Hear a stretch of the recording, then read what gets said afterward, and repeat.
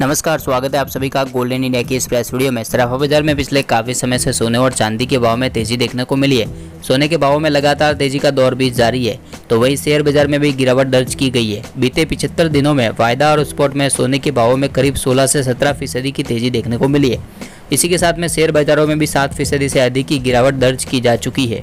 जैसा कि हमने आपको पहले भी बताया था कि अक्टूबर 2019 यानी कि दिवाली तक सोने की कीमत में और इजाफा हो सकता है और हो सकता है कि सोने की कीमत चालीस हज़ार के पार चली जाए। ऐसे में केडिया कॉमोडिटीज की ओर से एक रिपोर्ट जारी की गई है, जिसके अनुसार दिवाली आते आते सोने का भाव चालीस से बयालीस हज़ार रूपए प्रति दस ग्राम के आसपास जा सकता है। तो ऐसे में ज़्यादातर लोग ये इंतज़ार करके बैठे हैं कि आखिर कब सोने का भाव कम होगा और हम सोना खरीद लेंगे। लेकिन जो सोने के भाव में इजाफा देखने को मिला है, इसके पीछे दस कारण छिपे हुए अगर इन कारणों में कमी आती है या कुछ भी फेरबदल होता है तो सीधा ही सोने की कीमतें कम हो सकती है।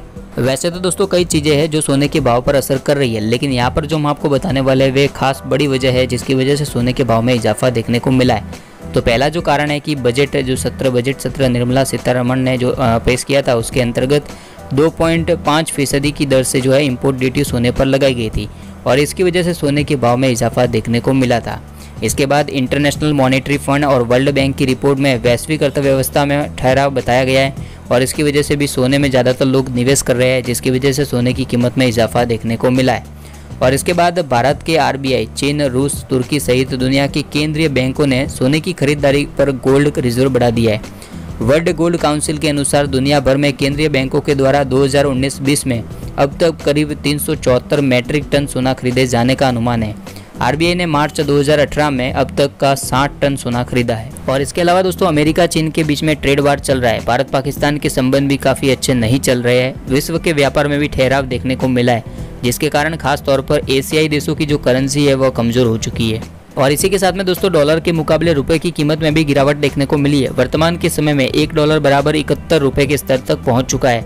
भारत में जितनी मांग होती है सोने की, उसका 80 प्रतिशत सोना जो है, आयात होता है। जिसकी वजह से सोने की कीमत में बढ़ोतरी देखने को मिली है। इसके अलावा अमेरिका और ईरान के बीच में भी टेंशन लगातार बना हुआ है, जिसकी वजह से निवेशक जो है सोने में ज़्यादा निवेश कर रहे हैं। उनकी रुचि जो है अभी सोने में ज़्यादा है।